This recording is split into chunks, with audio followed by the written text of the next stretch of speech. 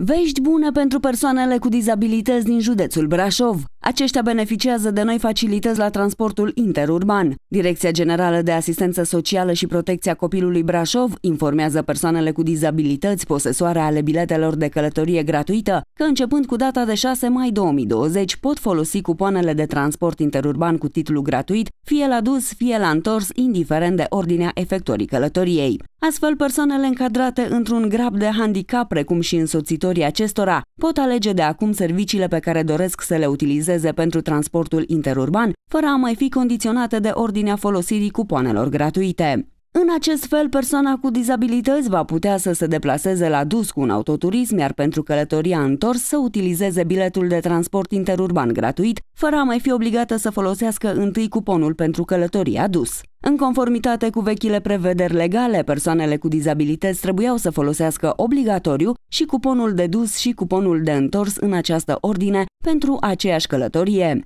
În caz contrar, riscau să nu le fie decontată deplasarea și astfel să primească ulterior somații de plată din partea statului. De la începutul acestui an au fost eliberate un număr de 20.147 de bilete de călătorie interurbană gratuite și 472 de legitimații de călătorie. De la începutul acestui an au fost eliberate un număr de 20.147 de bilete de călătorie interurbană gratuite și 472 de legitimații de călătorie.